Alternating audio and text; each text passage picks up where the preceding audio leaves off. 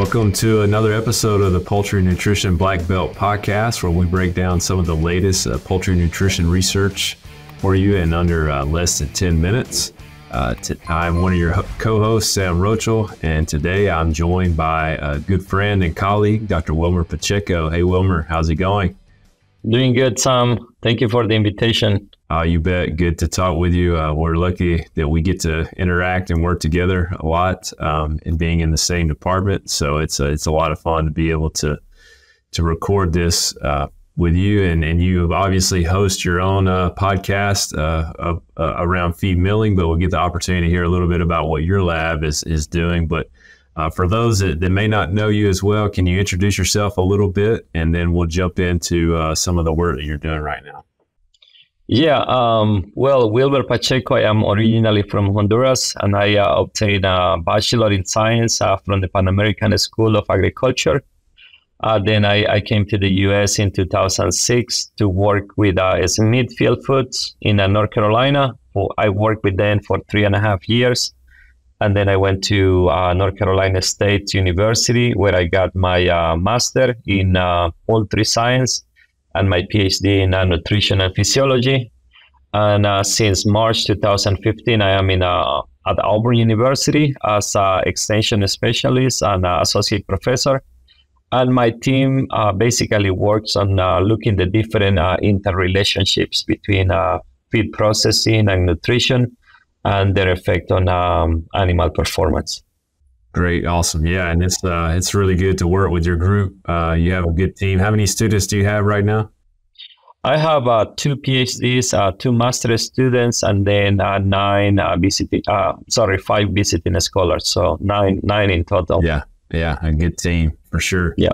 So uh, tell us about uh, some of the stuff that that uh, that group has been working on. I know you've you've been playing with a new method for determining uh, particle size. We're hearing a lot these days about uh, macrostructure and microstructure of pellets, but sometimes that can be tricky. Um, so can you talk a little bit about the work you're doing in that area? Yeah. So uh, you know, like about three years ago, um, I just started thinking about like the need to develop a new methodology to evaluate uh, the particle size in the macrostructure or microstructure of the pellets because uh, historically we have been focused only like on, on the particle size of uh, a specific ingredient. So when I was at NC State, I did some research looking the effect of the particle size of soybean meal and corn on um, uh, broiler performance and then organ development. But then um, you know, as I thought more about like particle size, then I just start realizing, and it's obvious that once that we get these ingredients and then we mix them with the other ingredients in the diet, then the particle size of the meal changes after mixing. And then when this meal goes through the pelleting process, there is some additional grinding uh, that occurs in the pelleting process. So we don't really know what are we offering to the to the chicks. And um, in Europe, they they do like a wet sieving uh, to evaluate the particle size and the microstructure of the pellets. However, uh, it is not common to do it here in the in the U.S. So we we we basically went ahead and um, developed um, a methodology uh, to to evaluate the the particle size and the microstructure. Uh, the methodology is fairly simple. Some uh, basically we get uh, whole pellets, and then uh, we dissolve the whole pellets in a warm water uh, with um, you know 45 Celsius degrees.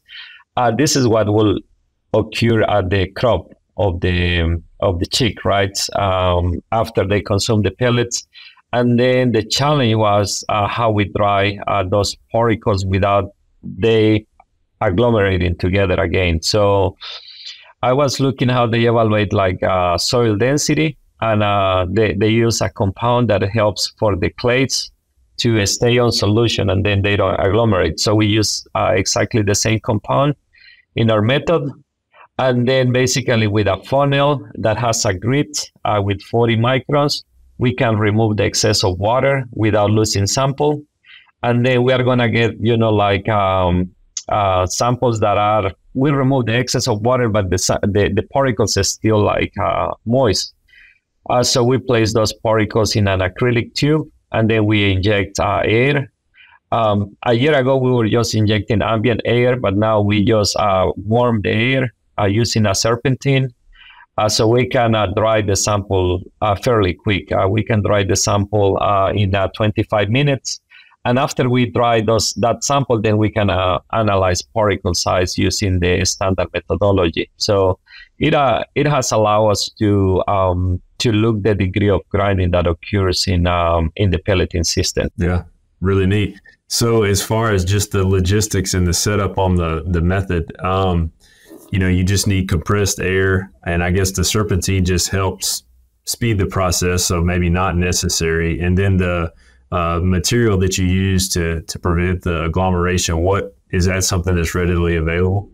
Yeah, that's uh, sodium hexametaphosphate. Uh, is um, is is easy to buy online, and uh, one of the things that we did when we were developing this methodology, we were um, um, trying to avoid using, you know, um, chemicals um, uh, for the methodology. Just that way, it's safe for everybody to to to do. Um, yeah, like I, I can give you like an example. You know, when uh, we were dissolving the samples uh, we try with um, you know uh, like 10% of uh, formaldehyde and it will help to um, dissolve the sample quicker but i mean uh, that could have some restrictions in other countries so we just decided to use warm water mm-hmm. yeah so how long does it take generally uh, for a normal feed sample? Um, how long does it take to, to do the whole process? Um, I guess uh, the, the sieving is similar. So just the sample prep, how long does that generally take?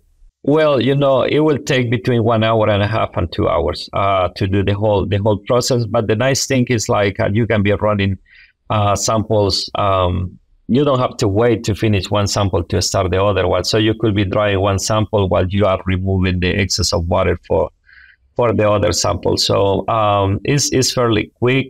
Um, yeah, and uh, a little bit of that too. Some that I think is important to share is the idea is to create a prediction equation. So uh, we we collect some samples from feed mills and um, just from commercial feed mills, and the idea is just look different particle sizes, and uh, hopefully in the future we can create a prediction equation that will tell you if the original uh, mass particle size is this, and then we got like a, a a pellet die with a X, you know, diameter and compression ratio, uh, then we could predict uh, what will be the, the average particle size inside the pellets.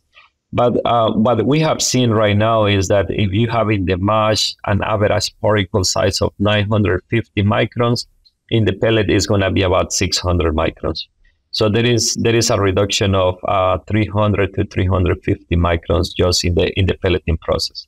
Yeah, that was going to be my next question. And honestly, that was something I had not until talking with you, you know, and, and, and when Dr. Spias was here, I had really thought a lot about that extent. You know, certainly if you add whole wheat to the mixer or something, you expect some grinding, but I never really realized that there was that much grinding for mash feeds during the pelleting process. So I think that's probably eye opening for a lot of people, maybe.